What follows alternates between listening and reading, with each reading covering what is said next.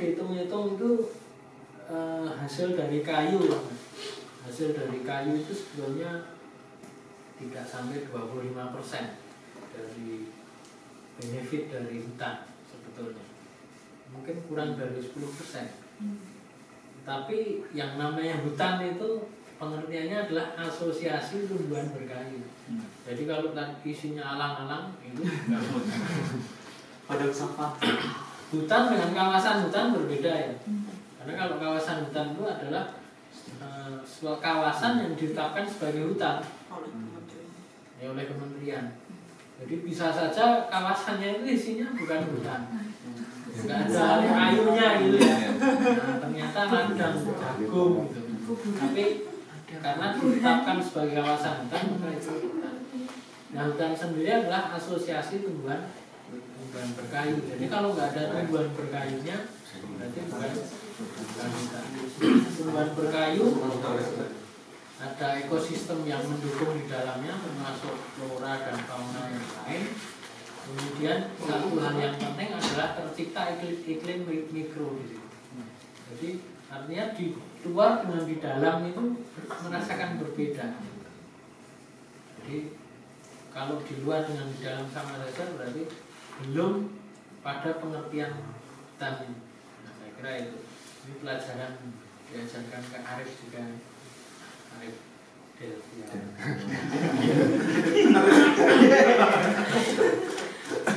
Nah, kalau malam mungkin beda. Delvia mati. Saya kena mention? Oke, eh, jadi harus apa menyeluruh paradigma pandangan atau kerangka berpikirnya harus menyeluruh.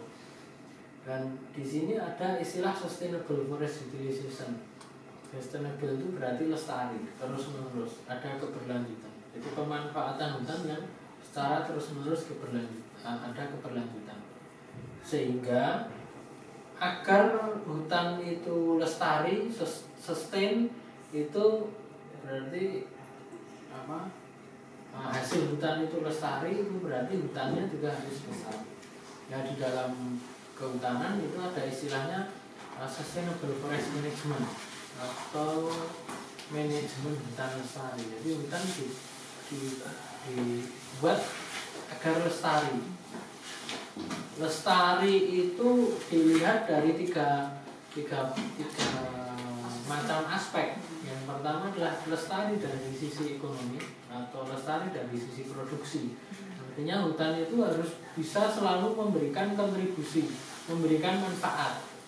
Nah apa? Misalnya kita melihat itu hasil berupa kayu ya berarti kayu yang dari hutan itu harus terus menerus ada. Kalau hasil hutan yang kita maksudkan itu berupa getah misalnya getah pinus gitu ya, itu berarti terus menerus ada hasil itu. Nah, itu yang yang dimaksud dengan eh, lestari dari sisi ekonomi atau lestari dari produksi. Jadi hutan berproduksi secara terus menerus. Kita tahu bahwa yang namanya eh, forest stand atau tegaan hutan itu mesti ada umurnya, iya kan? Ya ada ada umurnya. Ya seperti manusia ada masa ma- ada masanya. Eh, tegaan hutan atau hutan yang luas itu itu mesti suatu saat pohon-pohonnya itu akan mengalami apa ya penurunan penurunan pertumbuhan. Nah, pertumbuhannya stagnan terus berhenti. Nanti kalau sudah berhenti kemudian dia mati. Mati dia akan rebah atau tumbang. Nah dari sisi produksi kalau seperti ini dari sisi ekonomi kan tidak menghasilkan.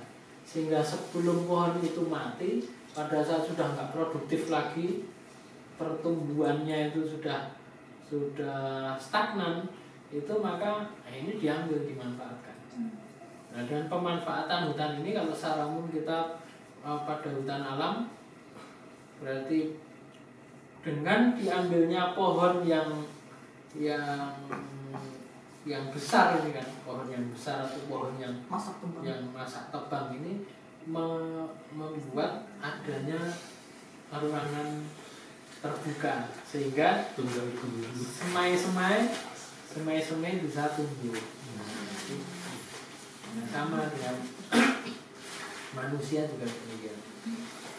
Oke itu dari sisi ekonomi atau atau produksi. Kemudian pelestarian itu juga harus dilihat dari sisi lingkungan atau ekologi. Atau apa mungkin gantian? Jadi dari dari sisi ekologi artinya ya sumber daya hutan itu secara lingkungan juga harus harus lestari tidak rusak dan sebagainya sehingga produksi dari si produksi ada ada yang dipanen tapi pemanenan itu tidak men- menimbulkan impak terhadap uh, fungsi hutan dari sisi ekologi. Kemudian yang ketiga adalah dari sisi sosial. Nah kebetulan hutan di Indonesia terutama di Jawa ini eh, faktor sosialnya itu sangat isu sosialnya itu sangat kuat karena banyak masyarakat yang tinggal di sekitar hutan dan kondisinya itu dalam kondisi yang marginal jadi eh, dalam kondisi eh, kemiskinan lah seperti itu atau kurang sejahtera Nah ini bagaimana pengusahaan hutan itu juga harus melihat aspek itu. Jadi masyarakat sekitar hutan juga berdaya. Kemudian eh, apa terkait dengan ketahanan pangan, masyarakat sekitar hutan pengen sumber lahan terutama lahan untuk menanam tanaman tanaman pertanian misalnya tanaman semusim. Sehingga ada beberapa konsep-konsep di pengelolaan hutan itu misalnya uh, pengelolaan bersama masyarakat. Atau di dalam sistem di seperti di hutan jati di Jawa itu ada uh, sistem tumpang sari.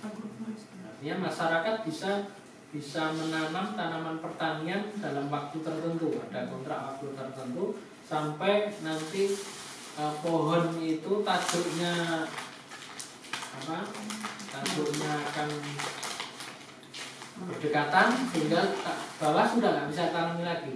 Nah, itu salah satu em, penekanan pada aspek sosial. Nah, tekanan sosial ini terutama di Jawa sangat tinggi sekali. Kalau di luar Jawa mungkin nggak begitu. Nah, ada beberapa masyarakat adat yang tinggal di hutan itu juga harus eh, selalu diperhatikan. Oke, jadi sustainable forest management ini harus benar-benar di, dijaga hutannya itu lestari dari sisi itu. Sehingga kalau hutannya lestari maka hasil hutan yang yang dapat diambil yang dapat dimanfaatkan itu juga akan terus menerus. Nah hasil hutan itu kalau saya lebih melihat dari sisi kayunya gitu berarti dia eh, hasilnya berupa timber atau kayu yang nanti itu sebagai sumber bahan baku untuk proses-proses lainnya untuk wood industry jadi rumah jadi kayu jadi kayu gergajian jadi rumah jadi furnitur dan sebagainya kemudian ada eh, bahan baku yang masuknya nanti untuk industri industri yang lain seperti untuk eh, industri kertas. Nah di Indonesia ini banyak sekali ditanam hutan tanaman ya. Jadi ada hutan alam, hutan tanaman. Hutan tanaman itu memang dibuat atau buatan dengan tujuan tertentu. Misalnya hutan tanaman jati di Jawa itu untuk tujuan kayu perkakas ya jati housing maupun furniture kemudian eh, misalnya menanam hutan pinus diambil apanya diambil getahnya gitu ya. Ambil getahnya. Atau nanti setelah eh, tidak produktif lagi hutannya kayunya pun juga akan diambil. Atau hutan tanaman akasia.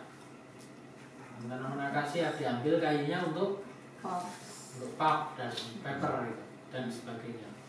Nah, eh, di sisi lain ternyata ada residu yang dihasilkan berupa ya kita biasa mengatakan itu limbah. Di hutan luar Jawa itu biasa eh, kalau dari sisi pemanenannya kan apa? Ya, long tree harvesting system. Nah, long tree harvesting system itu setelah ditebang yang ujung dipotong, jadi yang diambil cuma batang bebas cabang yang dipotong ujung tinggal di hutan, bagian pangkal dipotong tinggal di hutan. Sehingga ini ternyata ada residu yang sampai saat ini pun sulit untuk dimanfaatkan. Nah, ada beberapa penemuan ah, mesin-mesin chipping ya untuk membuat chipping yang bisa masuk ke hutan itu sebenarnya di, bisa digunakan untuk menata, untuk mengatasi problema itu. Artinya yang bagian ujung itu pun masih bisa diproses menjadi chip ya, jadi tidak ke kayu gergajian atau ke apa itu namanya eh, veneer untuk dibuat plywood tapi dibuat ceriping atau chips itu untuk bisa dan kertas, bisa untuk papan partikel, bisa untuk papan serat dan sebagainya.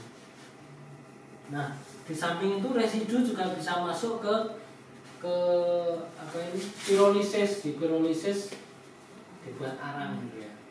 Nah, dibuat arang. Kemudian dengan bioteknologi yang labnya bioteknologi siapa ya?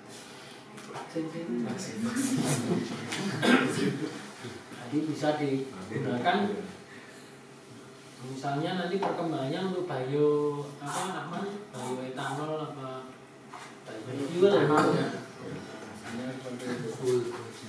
Kemudian bisa untuk power generation artinya untuk pembangkit untuk ya, sumber energi itu ya.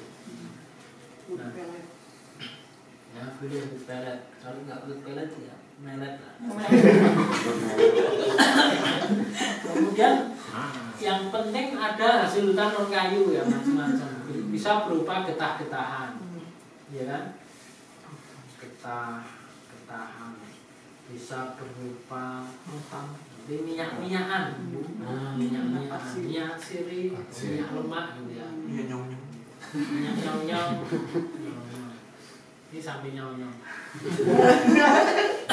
jadi minyak asiri misalnya dari tanaman kayu putih. Ya, diambil daunnya kemudian didestilasi menjadi minyak kayu putih yang biasa saya gunakan tiap hari.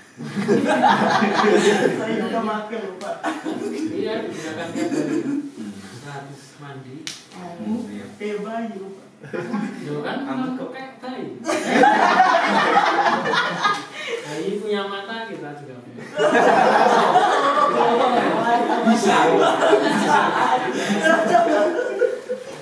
bayi itu lucu ya kalau melihat Dida ini kan ya mesti ketawa kan ginu ginu ginu kayak bayi itu contoh minyak siri ada minyak lemak misalnya tengkawang gitu ya tengkawang ya dari Ya, kemudian yang saya gunakan tiap hari juga ini minyak kemiri. Sehingga kok masih sering banyak ditanya rambutnya kok nggak ada yang putih ya?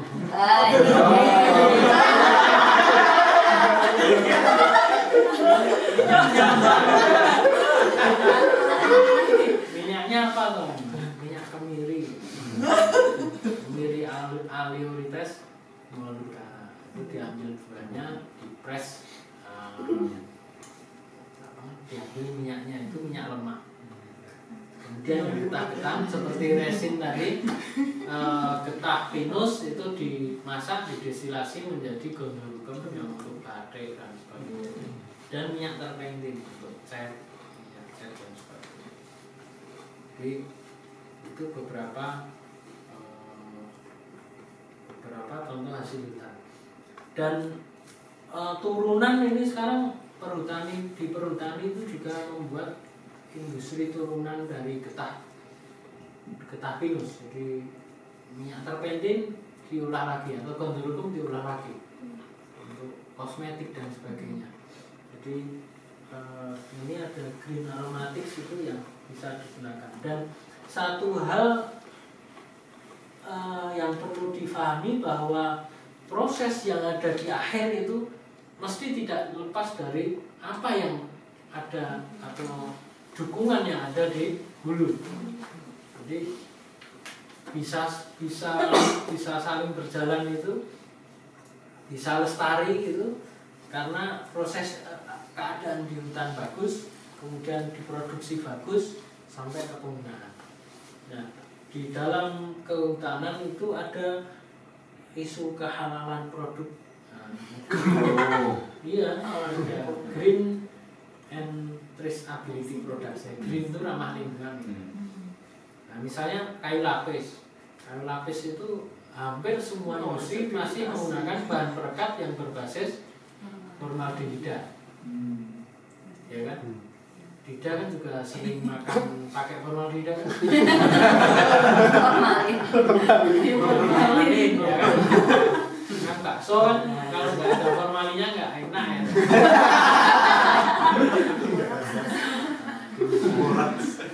Nah itu eh, ada traceability jadi ini kayu ini dari mana itu harus bisa di trace sehingga sekarang ada sistem yang harus diikuti oleh industri eh, atau pengusaha. Baik pengusaha eh, kayu ataupun ataupun pengusaha hutannya. Termasuk di hutan rakyat masyarakat itu juga harus tahu eh, sistem itu yang dikenal dengan sistem verifikasi legalitas kayu atau SPLK itu mandatori di pemerintah. Jadi mau nggak mau harus ikut itu ya sebetulnya skema sertifikasi itu yang ada aslinya kalau SPLK kan dari kita sendiri. Eh, skema sertifikasi itu adalah permainan atau politik dagang. Iya. jadi politik dagang. Kalau kita menjual ke luar negeri ya harus bersertifikat. Artinya bahwa yang dijual itu barang halal gitu. Ya, dagangan yang halal gitu sebetulnya itu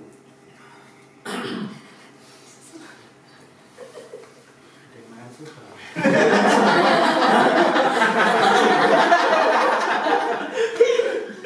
Biar nggak dengar. Eh, jadi di kehutanan itu ada itu jadi tidak hanya makanan saja tapi nah ini yang membuat sebetulnya industri di kehutanan itu atau pengusahaan di bidang kehutanan itu adalah pengusahaan yang berat. Karena ternyata banyak kakek bengeknya ya. entah dari peraturannya entah nanti pajaknya. Kalau pengusaha hutan nanti ada bayar DL dan agresiasi dan sebagainya. Belum nanti pemda ini aja perhutanan ini pusing ya dari dulu pusing Pusing mulai tapi ini jadi jadi dia kalau zaman dulu kan ada RTT itu rencana terbang tahunan itu kan ya asal ADM-nya sudah tanda tangan Iya. sudah beres Iya. Nah sekarang itu harus ke Pemda ngurus pajaknya dan sebagainya gitu. Itu yang yang rumit itu sebenarnya. Termasuk kalau kita itu pengusaha kayu mau beli kayu di perhutani itu juga ngurus itu. Kalau dengan perhutaninya beres tidak ada masalah, udah bayar ya, tapi harus ke pemdanya juga. Itu yang bikin rumit di Nah, yang nggak rumit itu ya sawit nggak rumit, tambang itu juga nggak begitu rumit. Sehingga sekarang banyak kawasan hutan, gitu, pengusaha hutan tapi di dalamnya ada sawitnya. Yang misalnya sawit siapa? Ya, saya nggak tahu. Nah, itu. nah itu harus seperti itu. Oke Eh, saya kira ini yang di bidang kehutanan seperti ini. Sebetulnya eh, kalau paradigma ini juga bisa di digunakan di sektor-sektor yang lain pertanian. Tapi pertanian itu kan gini, kalau bisa ya hutan itu jadikan uh, pertanian. Ya kan? Karena apa? Dan pertanian dipakai untuk bangun rumah dan sebagainya. Sama dengan pengembang pengembang perumahan. Kalau bisa lahan pertanian itu. Nah itu memang ya itu berarti kalau seperti itu level kebijakan. Mengambil kebijakan pemerintah dan DPR nah ini dilanjutkan enggak ya dilanjut enggak Lanjut. ini ada 46 slide Sampai Nah, kita lanjut sedikit ya. Iya. Ini maghrib berapa? lima menit lagi. Oke. eh, jadi itu ini mungkin sharing saja dari teman-teman yang ini mungkin yang tidak basicnya kehutanan kan nggak tahu gini-gini. Ya toh? Kalau tidak siapa nih? Awang, ya Awang nggak kayaknya tahu banyak gitu. ya. Arif aja diam. Ada senior. Itu diam itu bisa berarti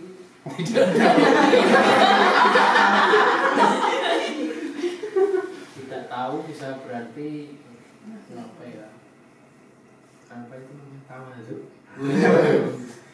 oke eh, kita lanjutkan sedikit Nah, ini tadi ada hutan alam, hutan hutan tanaman atau natural forest. Ini foto tahun 2007 waktu saya belum Terlihat masih muda, Pak. ya ya sekarang sih terlihat masih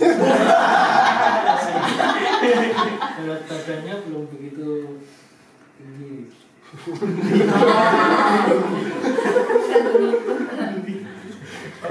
Bukan karena ilmunya dinaikin. kemudian nah ini gambaran sedikit eh, kalau kita nyari data ya tentang apa pun di Indonesia ya terutama tentang hutan lah produksi kayu luas- luasan hutan pun ya. itu berbeda yang mengeluarkan data beda ya jadi pemerintah yang datanya. nanti WWF datanya seperti ini beda lagi NGO juga. belum WCW nanti WCW belum WWF Wow, wow. itu loh WCW itu yang bulat itu nah ini contoh saja uh, di Indonesia itu kan yang yang sangat apa menarik itu kan di Trokar di Trokar Pasir dan natural forest yang ada di yang sekarang masih ada di Sumatera di Kalimantan di Papua itu eh, itu memang oh, apa itu kebanyakan di Trokar di Trokar tahu di itu artinya dua. Peteron itu artinya sayap Nah, kamu itu dua jadi dua yang bersayap dua kamu kan juga bersayap dua ya Nggak nyambung itu. jadi di Trokarpase itu itu di taksonomi Trokarpase itu termasuk apa? Famili ya. Famili itu keluarga. Masuk. Mbak Nurul. Banura. Banura. Kemudian eh, yang terbanyak itu baik itu sorea soreanan yang jenisnya sorea. Sorea itu sorea sorea. Pinata. binata banyak sekali itu bisa ratusan. Sorea sendiri bisa ratusan. Ada sorea belangeran ada sorea laifis sorea laififolia sorea parvifolia nanti kalau punya anak dikasih nama. Saya Soalnya. Soreas. ada hidrokarbon dan sebagainya. Itu memang memang komoditi yang paling banyak itu. Nah ini kalau dilihat dari grafik ini itu jadi penurunan yang yang sangat drastis terutama sekitar ya tahun-tahun 97 98 2000 itu ya. Nah, reformasi. Itu jadi jadi seperti ini adalah forest production.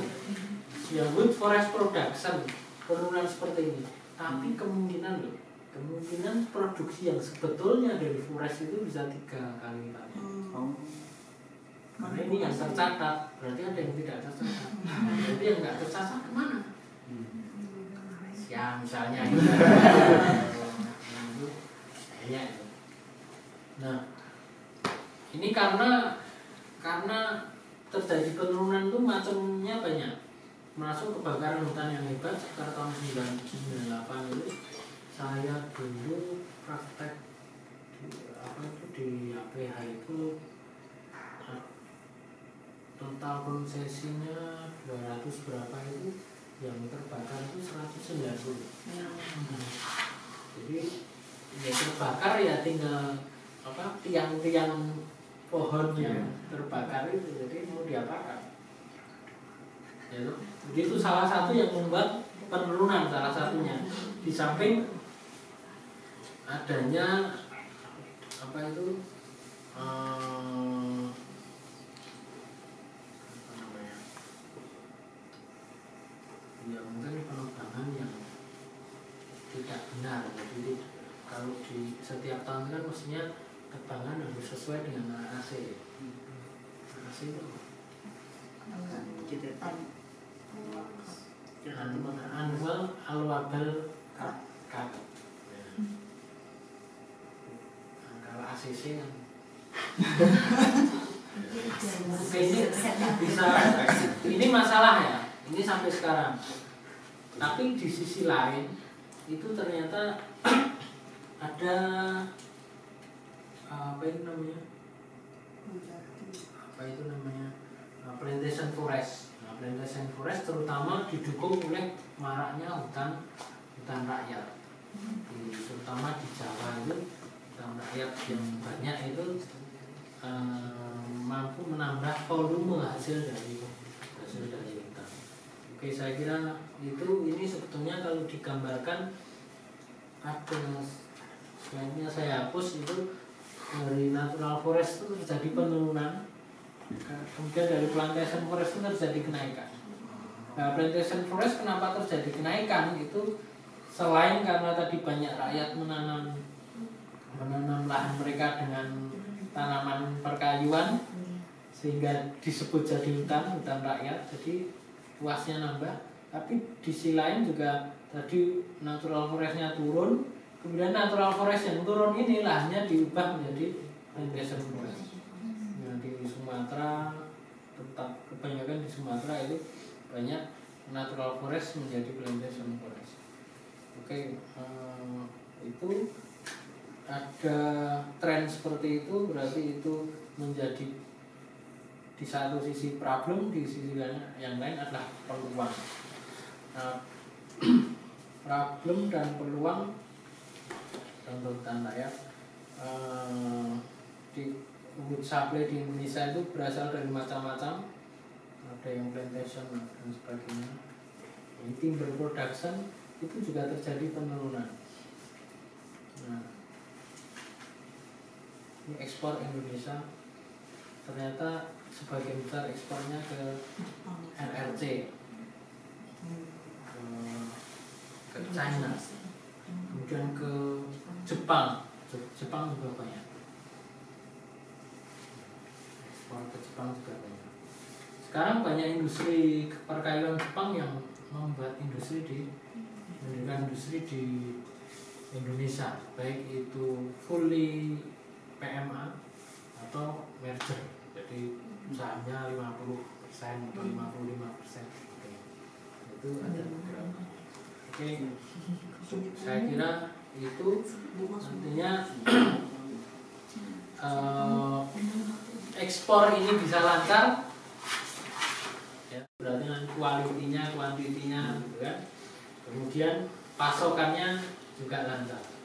Kalau pasokan lancar berarti hulunya juga harus kondisinya bagus. Saya kira itu nah bidang saya itu kan di eh, teknologi hasil hutan itu di bidang komposit. Nah, komposit itu apa membuat produk yang berbahan baku yang asal-asalan. Limbah juga bisa pakai nggak kepakai nggak kepakai itu dipakai lagi. Nah itu intinya seperti itu.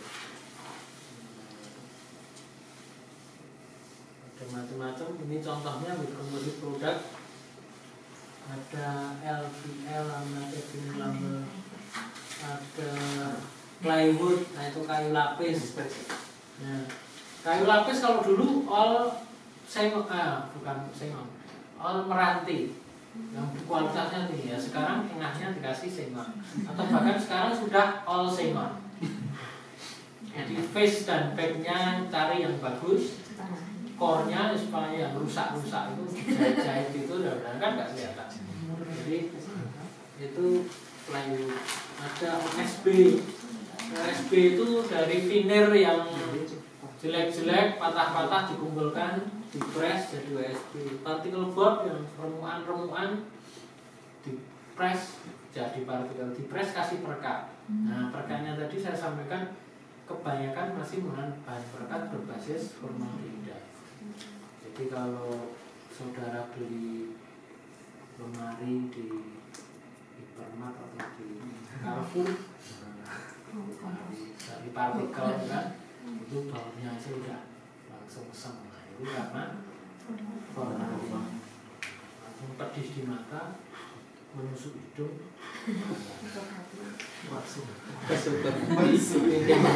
Jadi termasuk uh, fiberboard papan serat. nah ini yang lebih kecil lagi. Yang lebih kecil lagi sampai ke uh, nano komposit. Nah mungkin dikembangkan di oleh Yano Sensei di Kyoto. Ini ini sebetulnya uh, wood composite product ini untuk mengatasi Kelangkaan iya termasuk kelangkaan bahan baku dan sebagainya. Jadi kalau saya mengatakan uh, teknologi biokomposit itu ada dua dua dua manfaat. Yang pertama adalah diversifikasi produk. Membuat produk bermacam-macam. Nah, limbah juga seperti itu. Kemudian yang kedua adalah eh, efisiensi bahan baku. Artinya tidak melulu harus bahan baku dari hutan. Nah kalau melihat transisi mana ya?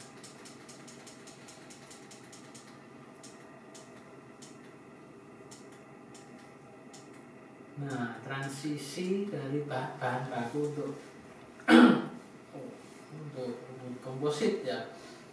Dulunya hasil hutan itu yang diameternya besar, lama-lama kecil. Terus menggunakan kayu-kayu yang kualitasnya rendah atau yang jarang digunakan, enggak dikenal. Kemudian menggunakan recycle. Nah, recycle ini kalau di Indonesia belum begitu populer. Kalau reuse ada, reuse itu misalnya rumah-rumah kayu rumah apa jeblu tapi harganya mahal. Jadi reuse digunakan lagi. Jadi tidak di recycle lalu di Jepang kan di recycle jadi rumah dibongkar di recycle jadi partikel.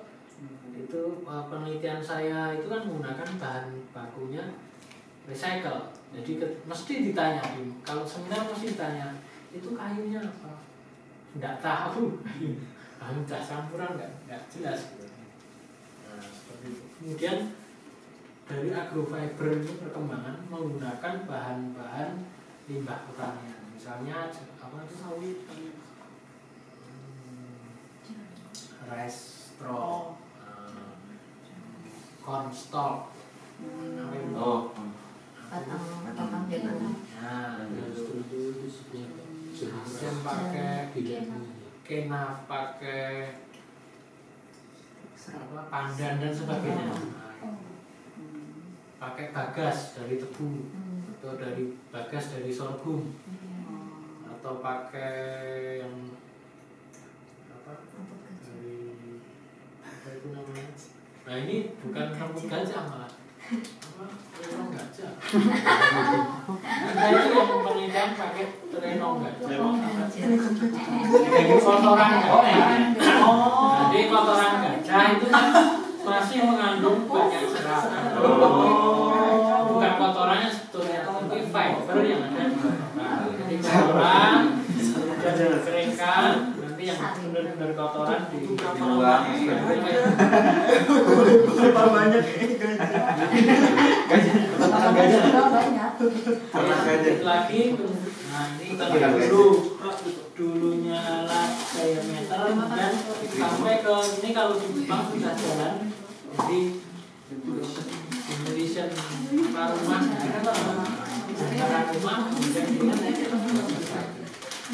saya kira itu sedikit dari saya. Tiga tiga dari empat Ada pertanyaan? Itu itu saja. Sa- satu lagi bahwa di common with base material production ada wood elemen macam-macam Wood elemen itu bisa kayu gergajian yang kecil digabung-gabung. Kemudian bisa vinil bisa partikel bisa serat gitu ya. Kemudian ditambah dengan dengan sintetik sintetik adhesif nah ini biasanya dari fosil. Nah ini yang akan akan dikurangi. Nah, menguranginya dengan apa? Dengan bahan-bahan yang selain fosil. Nah, misalnya yang sekarang banyak sudah mulai dikembangkan tapi dari sisi penelitian ya itu menggunakan asam sitrat kan dari jeruk ya. Menggunakan sukrosa dari ini menjadi lukis material mesti ada proses proses apa?